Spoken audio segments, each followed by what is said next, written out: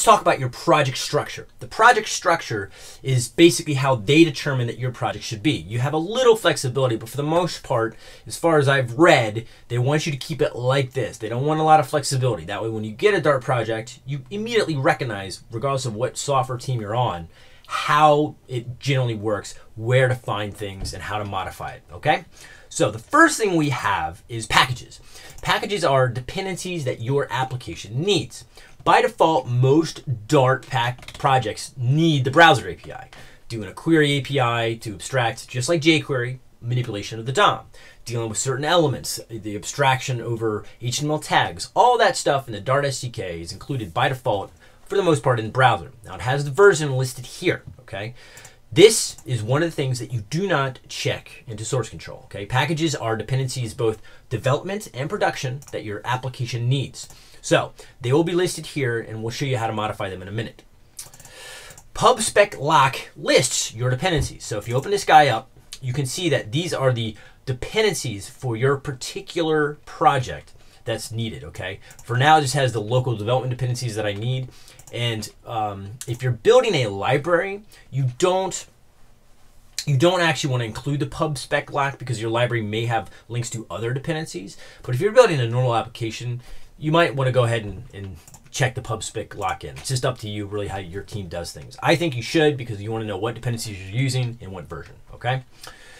Next up, the PubSpec YAML is basically the YAML file that describes your project. Now, they've included an editor, visual editor, in the Dart editor. I'm going to expand this just a little bit so you can see it. What it is, is it's a description for your project. So we click this little source tab here. You can see that it's just a normal text file with spaces and tabs, right? Describes your project, the name, the description, the dependencies, right? And these dependencies are a little different than the actual library definitions, okay? These are like the, the high level definitions of it, okay? The overview basically gives you a nice little GUI on top to describe the author version, homepage docs, the SDK version you're using, things like that.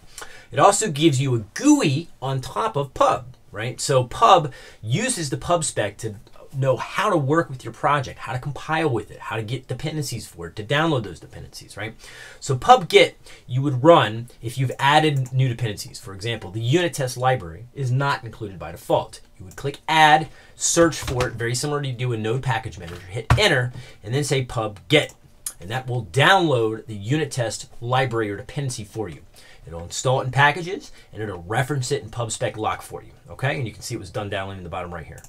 So if you look look now, it's got all the dependencies for unit tests as well as the dependencies that it has, right, with the particular versions. And if you look at our PubSpec YAML source, you can see now that it references unit tests. Okay, so pub build dart is how you build your project for the most part to JavaScript, right? Production build, minified JavaScript, and everything converted from Dart code to JavaScript, right?